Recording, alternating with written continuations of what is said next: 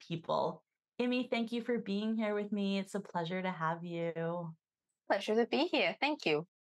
So, because your work is all about intensity and sensitivity, I'd love to just kind of start there with you. Can you talk about what you mean when you talk about intense people, emotionally intense people, and maybe how that's different from highly sensitive people, if that if it is at all? Oh, such a good question. Thank you for starting with that. Yes, I think a lot of people are confused. Obviously, the word highly sensitive has been around since um, Dr. Elaine Aron coined it, and most many people, probably audience of your summit, are quite familiar with that. I use the word intensity. It's slightly different. Um, I think you know say in the original highly sensitive HSP, let's call it concept, sensitive people are usually described as being easily startled. You know, they are they're advised to prioritize self care. I think people often get the impression that they are kind of sensitive and vulnerable, like need to protect themselves. But I think the word intensity comes with a bit more passion and vigor um, I think Dr. Elaine Aron covers, obviously, the two concepts do overlap. I think Dr. Elaine Aron covers the physical and emotional aspects of being intense very, very well. But to me, intensity also has, a, has an intellectual intensity to it and a spiritual dimension, which I don't think were addressed enough for me in the original HSP concept. If anything, I think intensity is closer to another concept known as overexcitabilities, which is usually used in the realm of talking about giftedness. But then if I use the word giftedness, people then get the wrong idea of, oh my God, that means I'm superior. It only applies to children. So I also don't use the word gifted very much, but overexcitabilities have got all these dimensions, which, you know, I'm probably not going to go into now, but people can certainly look it up. And I defined I have this on my website. I define intensity with five major areas.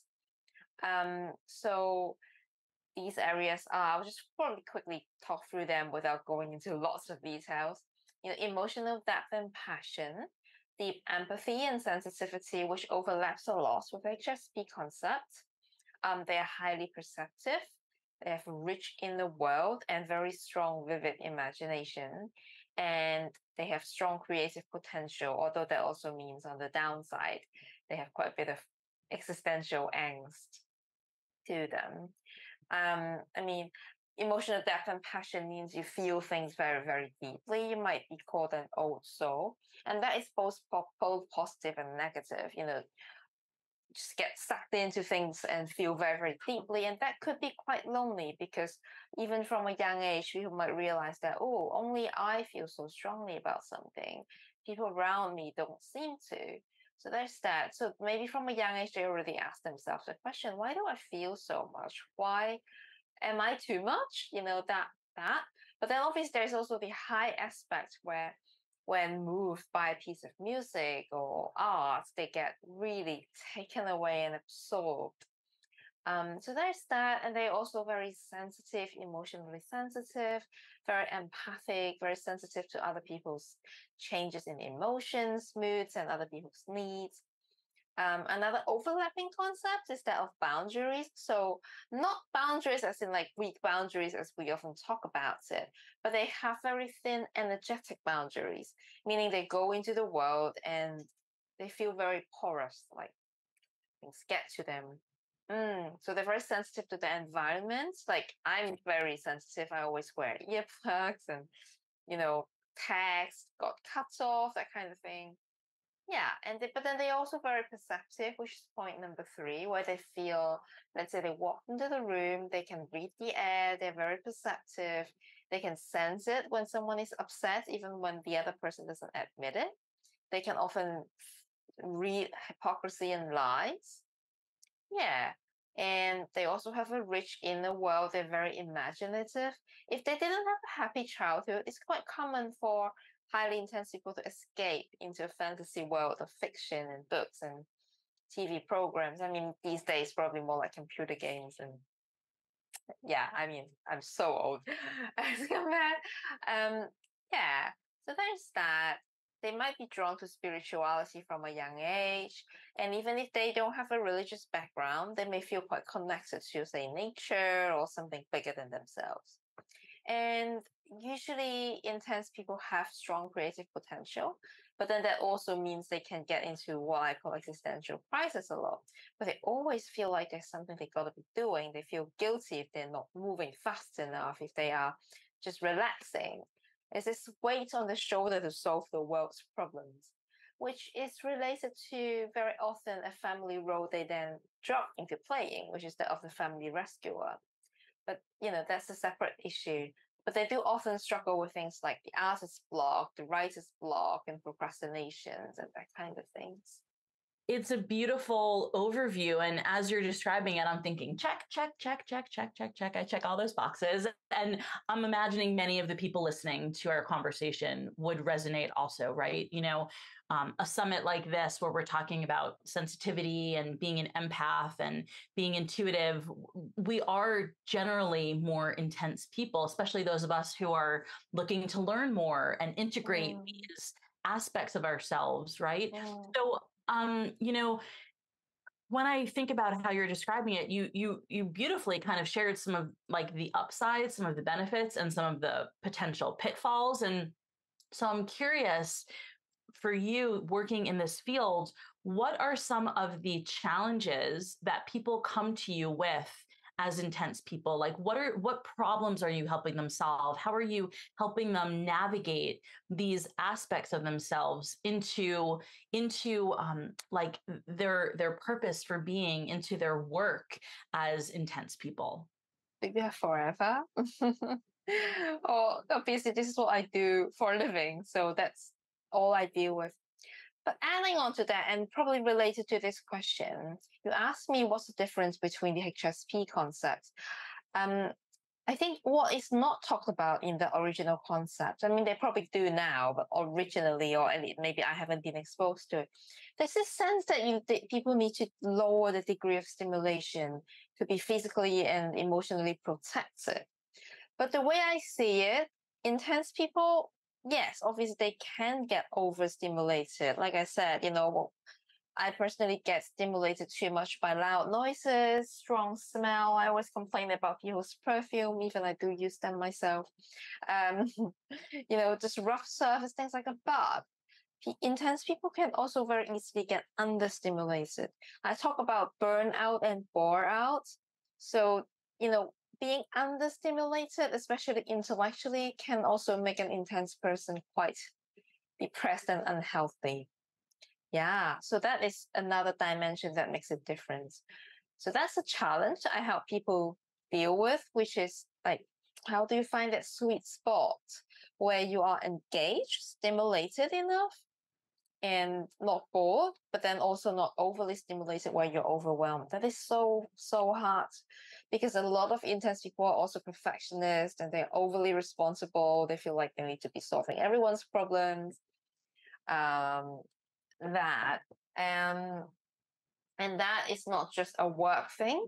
Often it comes into relationship as well. So people would describe their partner as being they they often feel very guilty saying it, but sometimes people find that oh their partner are under engaging in, in certain aspects. Maybe the partner is really, really good in running life tasks together, but then spiritually it's just like mismatch. And it's not one is superior, inferior. It's not that. It's just different. And their partner might be intellectually way superior to them, but then spiritually very shut down or emotionally just don't have the language. So there's that. Um, so going back to the challenges, I think emotional regulation is one. I started my career as a psychotherapist, so that's one thing where I started working with people on very beginning, which is in learning how to deal with your intense emotions and mood swings, especially when you were younger. I think younger people really struggle with that. I mean, neuroscience has now told us that our prefrontal cortex literally were not formed properly when we were younger. I could resonate with that when I was younger. Everything felt like a huge roller coaster because they are so sensitive to all sorts of stimulants and external output, uh, sorry, external input. So it's really challenging for them to regulate their emotions. Um, loneliness because they feel well, there are many reasons for it. They don't feel like they fit in, they feel very different, but they don't know why. But the intensity also leads to loneliness because I'm feeling these things. The other person don't know. We're watching the same film. Why am I the only one who feels so much and cries so much? And you know, um, sensory overstimulation, how to manage that in the real world and not be so criticized and misunderstood. Perfectionism is a big one. I think many intense people I work with have a strong desire for perfection in everything their work, who they are, which paradoxically leads to things like procrastination, anxiety, imposter syndrome, social anxiety, because they want to make sure they are doing the right thing when actually there's no right thing. Um, yeah, being seen or being caught as too much, which makes them internalize a lot of shame. So they walk around the world wondering if there's something wrong with them. I call it the wounds of being too much, which I talk about quite a lot. Yeah. Executive functioning. Now, that's not everyone, um, but some people mm, really struggle with task switching because there's so many things they want to do, ideas are jumping here, there, back and forth. It doesn't necessarily mean they have ADHD. They just have a very fast brain and the existing system may not cater to them. So when there is a mismatch between the environment and their brain, there could be lots of functioning issues. Impulsivity is related to that. See, I call it impulsivity is already quite negative. Like it's always like, oh, you're impulsive. When actually they're just fast and they probably make intuitive decisions very quickly and other people see it as impulsive when actually their brain has already gone through a process of discernment and they know what they're doing. So there's that this mismatch causes a lot of self doubt as well. Um, burnout, like I said earlier. Yeah, so there are more, but I think these are some of the main themes. Yeah, I can. I, as again, as you're describing all of these difficulties that intense people might face i'm thinking yes they all sound familiar.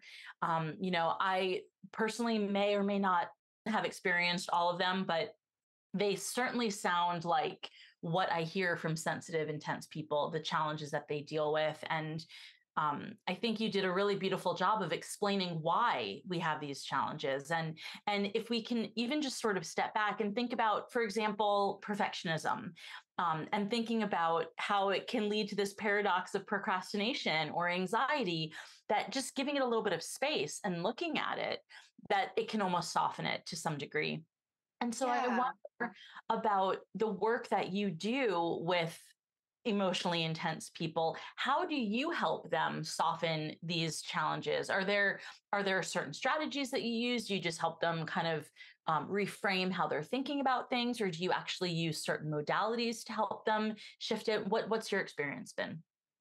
Oh, there's so much I so much I can say about that. But adding adding to that, what we, the, the the question you just asked, a lot of the problems actually caused are caused by attempts to solve the original problems.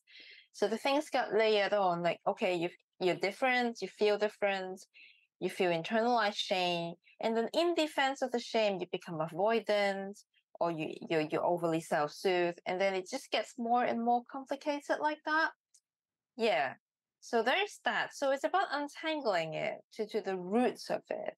I don't like talking. I mean, yeah, there are, but I really don't quite sometimes I don't like talking just about strategies and things.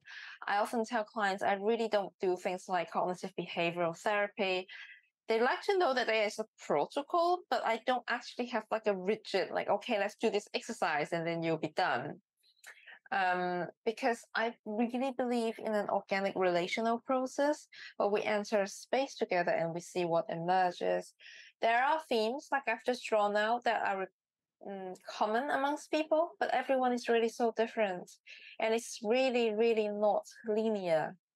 So, yes, I can have a vague roadmap as though there are steps, but it's not dun, dun, dun, and then I graduate. Bola, I think that's very, you know, our culture really likes that, but it's a kind of false sense, false sense of certainty. But I, there, there are still a lot I can say to answer your question. to add on to the difficulties, it's a family role thing. Now, not everyone, but what I see as a repetitive pattern is a lot of highly sensitive and intense people get into particular family roles within their family. I don't know if you're familiar with like everyone has got like a role in the family. Some people are like the clown, some people are the mediator, some people are the problem solver. It's fine. We all have these family roles. As uh, but a healthy family system, in a healthy family system, these roles should be flexible. Like, okay, I'm I have a tendency towards I like problem solving or I'm funny. But if I'm always just a clown and no one takes me seriously, that's problematic. If I'm just a problem solver and no one tries to solve my problem, that's problematic. So what I find is a lot of sensitive and intense people, because of their capacity and their sensitivity, they get parentified a lot. So the word parentified, that's like falsified, parentified, they become like a little parent, a little grown up from a young age. Um, they could be doing physical parentification. They could be, sorry, they could be subject to physical parentification where they are running errands, taking care of their younger siblings, doing all the shopping, taking people to dentists, da da da. Or they're emotionally parentified, which is more common where in a very subtle way, they become the family counselor, the family therapist, the one that everyone goes to. It's not usually not, sometimes, yes, there are alcoholic and abusive parents. Sometimes it's not because anyone is being horrible, it's unconscious. They just automatically took on that role because they can. So there is that part to it. And a lot of time, a lot of the time, what I help people do is to undo the trauma caused by parentification um, and reclaiming their life. You know, they often take on that role and they find themselves stretched really thin, and their own needs and identities get overshadowed from a young age. So they could reach middle adulthood and get very confused. Who I am, what do I really want? Who am I outside of taking care of my family? So I'm helping them to find their own aspirations, their desires, ability to care for themselves again, um, setting healthier boundaries with their parents or their siblings. And it doesn't mean it, it's not cold. It's not cold to set boundaries. Healthy boundaries actually bring you closer because then you nurture your own growth. And then when you're with the other person, you don't feel like you're there to rescue them. You're genuinely enjoying a time together. So it's a, it's a process of redefining their role within the family and acknowledging that they themselves also deserve the same care and respect and attention that they've been giving to everyone else. Midlife crisis and existential crisis is a big theme that people come to me for. Many people reach a certain age and realize, I don't want to be a software engineer, or my job is boring. Why am I doing this? I don't want to be an accountant. I'm only doing this because it's secure and that's what my parents wanted me to do. And they've set aside their own passion and interest and dimming that radiant intensity that so few the creativity and ambitions that they originally had. So this is a process of unpeeling a lot of so- society and family pressure. And to help them do that is to guide them to relearn how to play without being a perfectionist, but embracing the messy middle, the imperfect, the unpredictable things, and to reclaim a childlike sense of wonder. Um, modality